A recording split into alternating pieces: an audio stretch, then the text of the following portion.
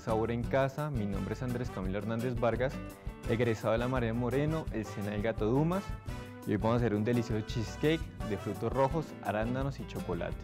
Entonces los invito a ver la lista de ingredientes a continuación para empezar a prepararlo. Bueno.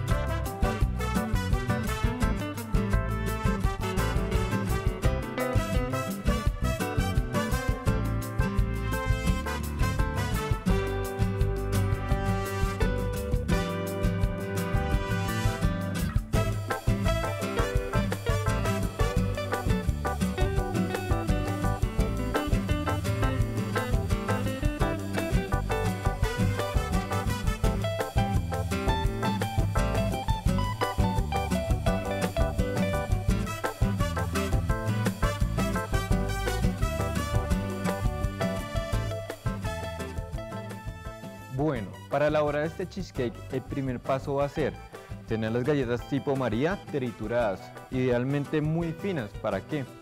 Para que al juntarlas con la mantequilla fundida que voy a utilizar, eh, queden una base muy rígida, que una base consistente. De esto depende eh, el enmoldado de nuestro postre. ¿Por qué les, les explico esto? Porque si dejamos las galletas muy gruesas o las dejamos completas, lo que va a pasar es que a la hora de sacar nuestro postre se va a desmoronar. Entonces lo ideal es tener las galletas muy trituradas o medianamente trituradas y la mantequilla fundida. Esta mantequilla puede ser reemplazada bien sea por ghee, que ya conocen que es el ghee, que es básicamente la mantequilla igualmente fundida, pero pues una parte, una parte sin grasa, y, eh, o por aceite también lo pueden reemplazar. Otra cosa que puede reemplazar la mantequilla puede ser la margarina. ¿Por qué les digo que la margarina? Porque la mantequilla, eh, digamos para las personas diabéticas o que sufren de algún tipo de colesterol alto, puede ser contraproducente, mientras que la margarina en un uso menor puede dar el mismo resultado, ¿listo? Entonces vamos allá. Tomamos todas las galletas y les vamos a agregar toda la mantequilla fundida. Con esto vamos a utilizar una cucharita y vamos a mezclar muy bien hasta que la mantequilla se integre completamente a las galletas. Hay muchas galletas tipo María en el mercado, en muchos almacenes de cadena las consiguen. Hay algunas de, empaquecito verde que son muy reconocidas. Eh, en este caso pues son unas eh, un poco más dulces, pero también funcionan, ¿listo? Después de que hayamos integrado muy bien la galleta junto con la mantequilla, la llevamos al, al molde, en este caso tengo un molde de 15 centímetros, un aro, el cual he forrado con vinipel previamente.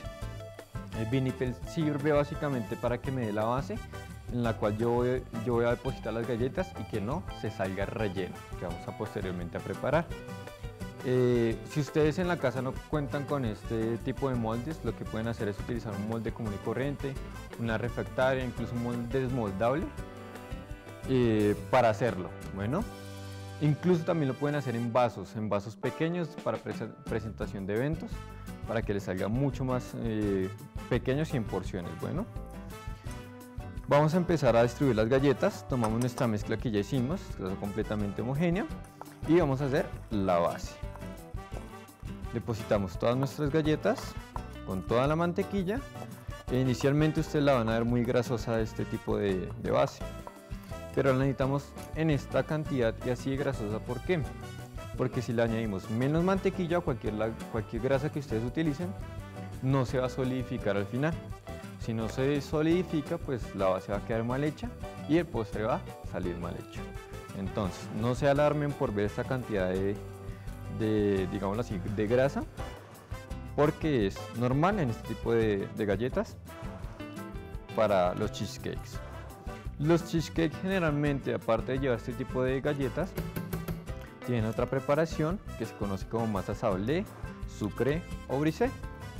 La sable, pues ya ustedes reconocen que es salada, la sucre, como su nombre indica, es dulce y la brecha es una masa neutra. La pueden preparar perfectamente en casa y la pueden utilizar como base también. No la necesitan triturar, sino utilizan completa, ¿listo? Entonces aquí trabajamos muy bien nuestra masa con la, con la cola de una cuchara para que me dé una superficie lisa. Cuando finalmente tengo la superficie lisa, ya puedo empezar a trabajar la crema. Entonces más adelante les explicaré cómo empezar a elaborar la crema.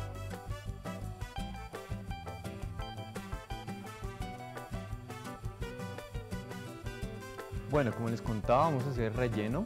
El relleno se compone de queso crema, crema de leche y extracto de vainilla. El extracto de vainilla o esencia de vainilla es completamente opcional, lo pueden cambiar por fresa, lo pueden cambiar por chocolate, lo pueden cambiar por piña, por el que ustedes deseen.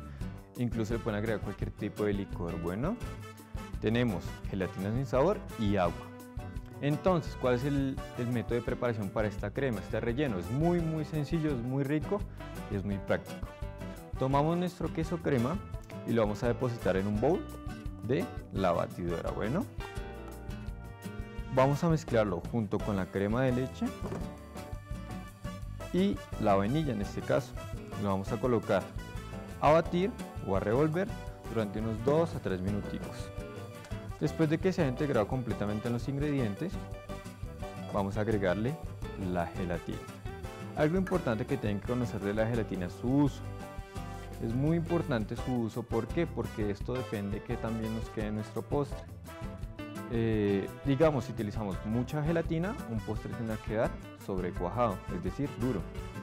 Si por el contrario tendemos a utilizar poca gelatina, pues nuestro postre va a quedar sin cuajar. Bueno, entonces agregamos nuestro queso crema, nuestra crema de leche, nuestra vainilla y la vamos a colocar a batir. Tenemos aquí una batidora eh, de casa eh, existen batidoras profesionales, pero cualquier opción funciona, incluso un batidor en casa también funciona. Y lo ideal es integrar los ingredientes. Entonces aquí colocamos un bol de baja.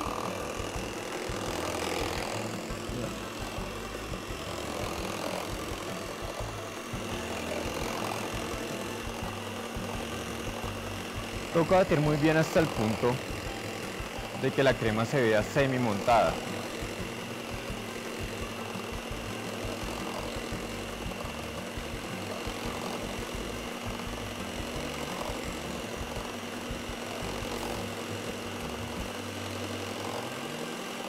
Vamos a subir un poquito la potencia.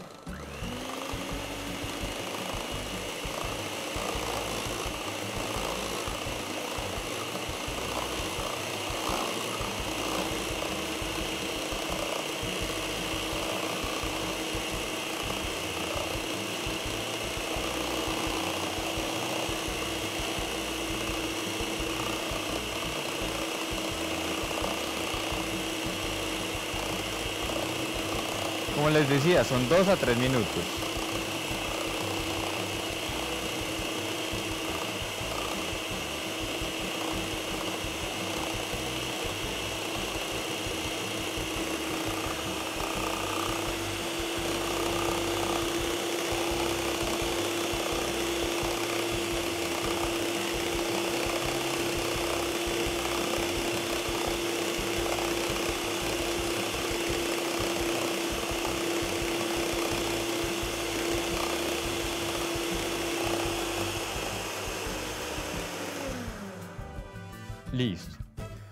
¿Cómo sabemos que nuestra mezcla ya está lista?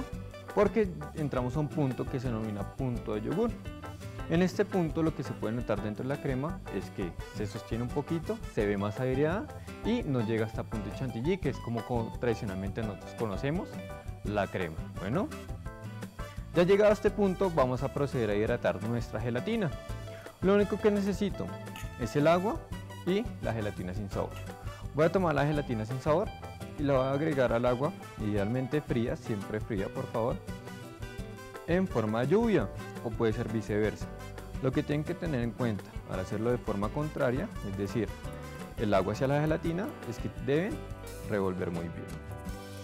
La gelatina debe reposar más o menos unos 5 minutos, la fundimos de nuevo, sea en baño maría o en microondas y la añadimos a nuestra crema. Ya después de que la añadamos a la crema, les voy a mostrar el siguiente paso, que va a ser nuestra deliciosa gelatina de frutos rojos. Bueno, cuando ya tengo la gelatina fundida, en este caso yo le hice un recipiente de plástico en el microondas, la vamos a añadir a la mezcla anterior de las cremas, eh, idealmente en hilo y rápidamente. Si esta mezcla de cremas, por un lado, está muy fría y la gelatina está muy caliente, el choque térmico va a hacer que la gelatina se cuaje instantáneamente y pues me va a salir un postre con pedacitos cuajados. Lo ideal es que esta, esta crema esté a una temperatura media baja, no que esté muy fría, no que esté tibia, ¿por qué? Porque si llega a estar fría ocurre exactamente lo mismo, un choque térmico y se nos va a cuajar. Entonces colocamos a batir en, en velocidad baja y le vamos a añadir la gelatina.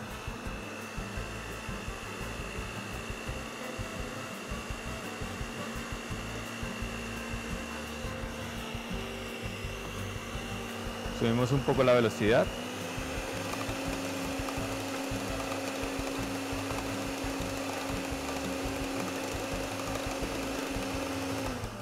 Y listo, tenemos que batir más o menos unos 30 segundos, no más. Y la idea es que trabajemos directamente ya con nuestra mezcla. Entonces, tomaré nuestra, nuestra crema, escurro muy bien mis batidores y vamos a colocarla en nuestra base de galleta. Aquí en nuestra base de galleta la podemos dejar enfriar previamente en la nevera para que tome más consistencia. Si yo no quiero que tome más consistencia, entonces directamente voy a aplicar la crema sobre ella.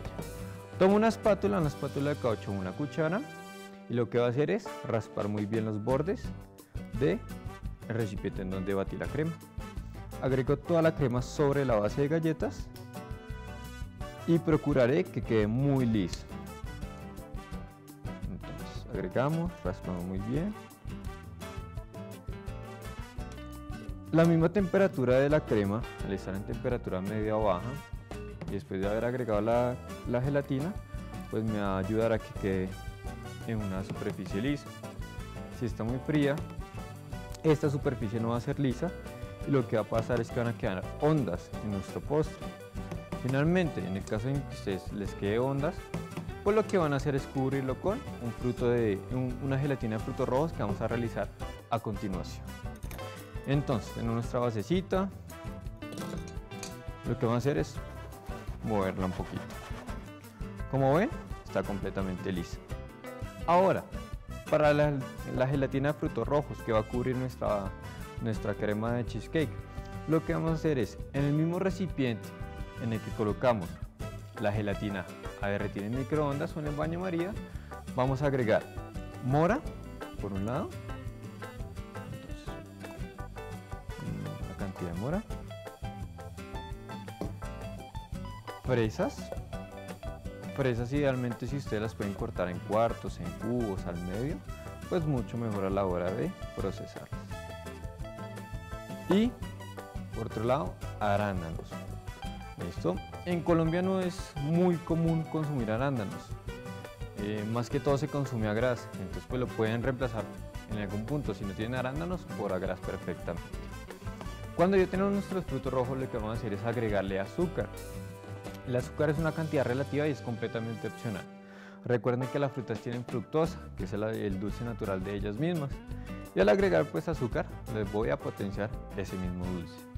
Entonces, en este caso, idealmente es agregarle una buena porción de azúcar. Aquí tengo 75 gramos. En el caso que ustedes quieran agregarle menos, pues lo pueden hacer, le pueden agregar más, dependiendo de sus gustos. Adicionalmente a esto también, opcionalmente, se le puede agregar anís estrellado, canela en polvo, clavo de olor, cardamomo y un poquito de agua. Si desean también algún licor, bien sea amaretto bien sea un licor de café o eh, agua para que quede completamente eh, cubierta la fruta y la podamos llevar a, hervir o a calentar. Ya los invito ahorita a ver cómo se lleva el proceso de nuestra, nuestra gelatina de frutos rojos para que vean qué elementos voy a utilizar. Bueno, entonces, como les comenté anteriormente, tenemos nuestros frutos, nuestro azúcar y también las especies que le vamos a colocar el día de hoy. Para el día de hoy vamos a utilizar cardamomo, que es un tipo de especie que se utiliza mucho en los dulces. Este tipo de especia, ¿cómo se utiliza? Miren cómo parece un granito de maní. Lo que va a hacer es con un cuchillo o con algo que lo pueda aplastar, presionarlo. Cuando lo presiono, el cardamomo se va a romper y van a salir las semillas que son las partes negritas, ¿listo? Entonces, le hago una, una muesquita y lo que va a hacer, bien puedo presionarlo o cortarlo, porque en este caso no lo abrió, es utilizar esta parte, las semillas. Esta semilla es lo que nos da el sabor del cardamomo. Por el contrario, la cáscara no, no, no nos aporta absolutamente nada. Bueno, agregamos una semilla de cardamomo, es bastante fuerte, tiene un sabor bastante fuerte. Entonces con una semilla es más que suficiente. Por otro lado tengo partecitas pequeñas de anís estrellado, también para dulces. Vamos a agregar tres puntas de anís estrellado y canela. La canela puede ser en polvo o puede ser en astillas. Cuando la agregamos vamos a tomar una batidora de mano o un mixer o un termomixer, así se le conocen, a este tipo de licuadoras, por así llamarlas. Lo que me permite esta licuadora es mixear completamente o licuar completamente nuestra preparación y llevarla a calentar. Si no tienen este tipo de, de utensilios, lo que pueden hacer es llevarlos directamente a la licuadora, procesarlos y finalmente calentarlos. ¿Para qué? Para empezar a elaborar una mermelada. Entonces, termomixer, aplano y uy, presión. ¿Listo? No se preocupen por el anís, no se preocupen por la cardamomo o la canela, finalmente va a quedar completamente procesado dentro de nuestra mermelada.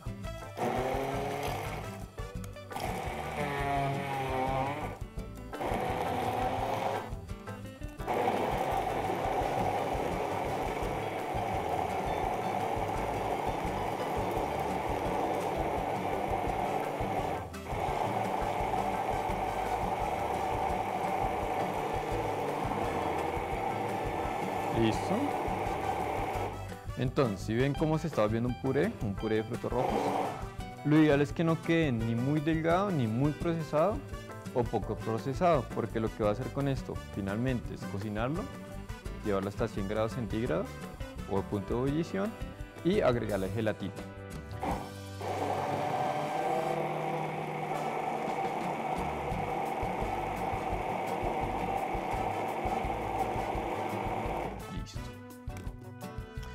En este caso, el uso de la gelatina es muy relativo. ¿Por qué? Porque yo tengo que tener en cuenta qué cantidad de fruta y qué cantidad de agua me va a aportar esa fruta. Si por algún motivo yo utilizo otro tipo de fruta, lo que va a pasar es que la densidad o la cantidad de agua me va a cambiar. Al cambiar la cantidad de agua, pues va a cambiar la cantidad del uso de la gelatina. Es muy importante que sepan eh, cuánto yo voy a utilizar para este tipo de preparaciones líquidas y cuánto voy a utilizar para preparaciones a base de lácteos. Si yo voy a gelificar este tipo de preparaciones líquidas, debo utilizar el 4% del total del líquido en gelatina sin sabor. Y en caso contrario, si va a gelificar o cuajar preparaciones a base láctea, pues lo que va a pasar es que necesito, necesito utilizar el 2%. ¿Listo? Recuerden también algo muy importante de la gelatina, es que se hidrata en 5 veces su peso en agua. Es decir, que si para esta cantidad de crema que tengo aquí utilice 4 gramos de gelatina, utilizo 20 mililitros de agua. Bueno, vamos a pesar este, este jugo o este puré de frutos rojos y vamos a utilizar la cantidad de gelatina necesaria. Algo que quería mostrarles es que en esta ocasión voy a utilizar un termómetro láser. ¿Para qué un termómetro láser? Porque este puré lo va a llevar a calentar en microondas. Si, lo tengo, si tengo una opción de calentarlo en una estufa, lo puedo hacer. Pero tienen que tener en cuenta que la estufa va a perder mucho líquido y se va a volver una mermelada. Entonces, todo mi puré lo llevo a calentar. Y con este tipo de termómetro voy a chequear en qué temperatura está. Lo importante es que sobrepasemos los 100 grados centígrados. Sobrepasados los 100 grados centígrados, eliminamos cualquier cantidad de ácido cítrico que haya dentro de la fruta. ¿Por qué les digo esto? Porque el ácido cítrico es el encargado en descuajar, o sea, hacer completamente lo contrario que la gelatina, con la gelatina. Si yo en este momento le agrego gelatina a este puré, lo más probable es que no cuaje. Si por el contrario lo caliento, ahí sí lo voy a poder cuajar. Lo tienen que hacer con cualquier fruta que lo vayan a preparar. Si yo voy a utilizar maracuyá, hiérvanla con azúcar y con especias. Si voy a utilizar kiwi, exactamente igual. Lo único que tienen que cumplir es esas pautas. Bueno, entonces aquí tenemos el dulce de frutos rojos que realizamos previamente en el microondas. Lo que deben hacer es colocar lapsos de 30 en 30 segundos para llevarlo a hervir. Como les comentaba, en este caso eran 300 mililitros de eh, puré de frutos rojos, entonces vamos a utilizar la gelatina correspondiente sin sabor y previamente hidratada. La gelatina en este caso está sin disolver. ¿Cómo la volvemos a disolver? Con calor, bien sea en baño María o en microondas. Obviamente, por favor, en un recipiente apto para microondas. En este caso no debo calentarla. ¿Por qué? Porque la mezcla misma de los frutos rojos que ya está caliente me va a ayudar a cortar ese proceso. Entonces tomo la gelatina sin sabor, si ven que está completamente cuajada, y la voy a agregar en el dulce. Vamos a la otra parte, la agregamos y tenemos la gelatina incorporada. Volvemos con nuestro mixer o licuadora y lo único que vamos a hacer es mezclar muy bien.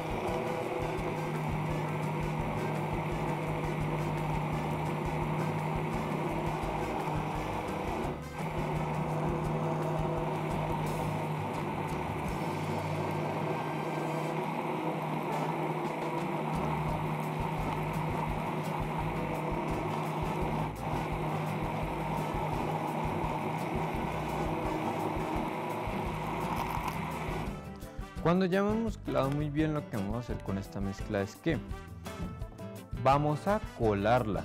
Debemos colarla para evitar las semillitas que ha dejado, los pedacitos de fruta que, no queremos, etc. Si a ustedes les gusta un tipo de mermelado de gelatina que sea un poco más rústica, no la cuelen, déjenla completamente con los trocitos. Yo lo hago en este caso porque simplemente agregué canela en astilla, cardamomo y anís. Si en, en algún caso queda esa canela, ese cardamomo o ese anís completo y llega a pasar mi postre, pues van a encontrar una textura muy fea. Tomo un colador, un recipiente y voy a pasar todo el dulce por el coladorcito.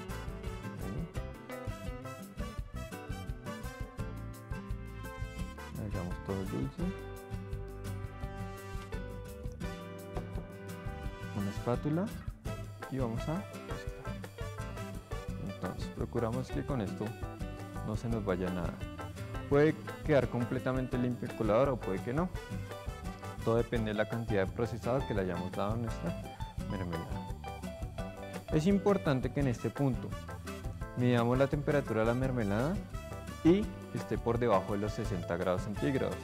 ¿Con qué fin? Con el fin de que en el momento que yo lo agregue a nuestro cheesecake no lo vaya a separar completamente sino que se integre con él.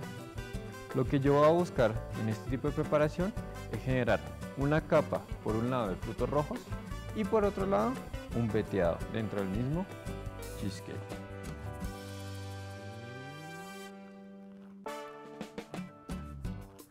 Entonces, si ven, como les comentaba, quedan muchos, muchos rezagos de semillitas. Esas semillas, eh, personalmente, no es una opción es una opinión común, eh, no me gusta encontrar un postre. ¿Por qué? Porque es una textura muy fuerte, muy fibrosa. Y en algún punto, si donde yo muerda de una forma equivocada, un diente se me puede romper. Entonces mucho cuidado con esto. Tengo aquí ya lo que denominamos una gelatina de frutos rojos. La parte de gelatina y la parte de puré. Esta también la pueden utilizar para saborizar la misma crema que eh, hicimos para el cheesecake. ¿En qué proporción? La proporción que ustedes quieran. Lo único que tienen que ajustar es básicamente el uso de la gelatina. De resto, no hay ningún problema. Les puede hacer un cheesecake de maracuyá, un cheesecake de frutos rojos, de lo que ustedes deseen.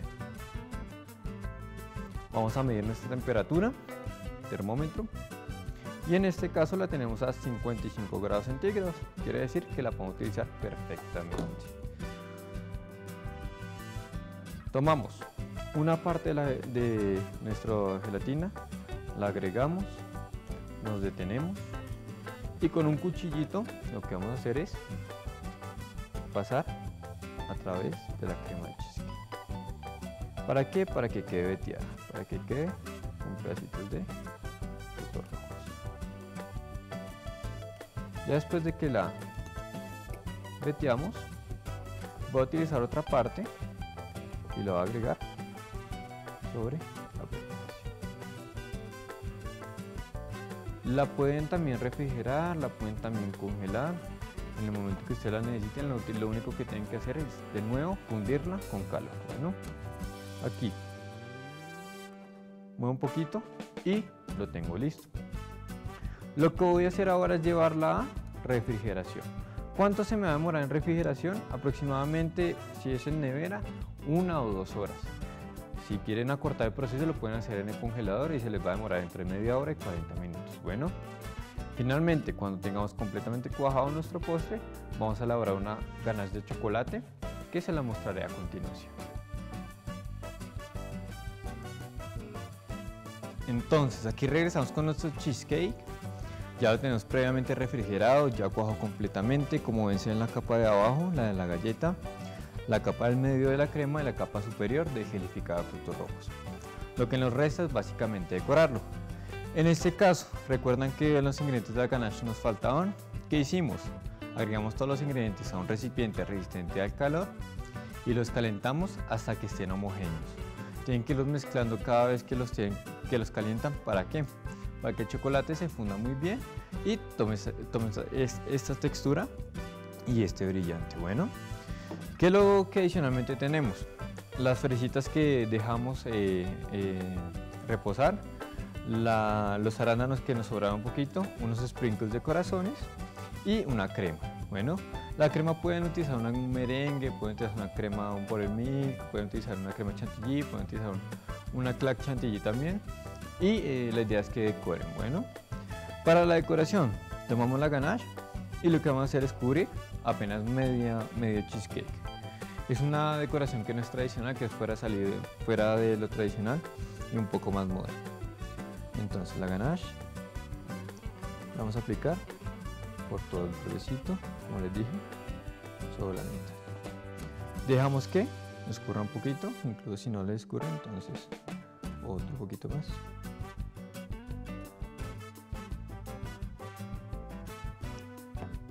Listo. Vamos a tomar nuestra crema y con la crema y una boquilla Saint Honoré, una boquilla de ondas, vamos a hacer una onda justo en el medio. Tomamos la crema y eso va a hacer una onda.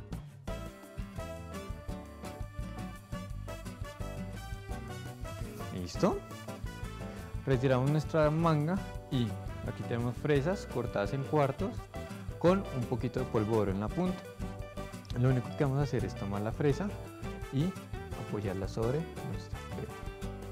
Apoyamos una hacia, mirando hacia un lado, tomamos la otra, la apoyamos mirando hacia el otro lado, tomamos otra,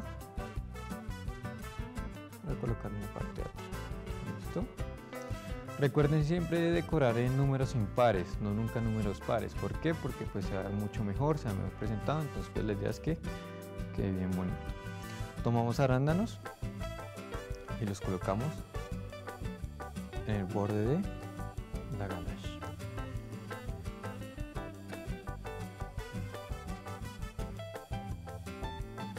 Listo. Y finalmente tomamos los sprinkles de corazones y los vamos a rociar sobre la crema. Pueden utilizar polvo de pueden utilizar eh, también eh, hojas de hierbabuena, cualquier otro tipo de planta que les dé un color verde y los realce. Tomamos un poquito de sprinkles.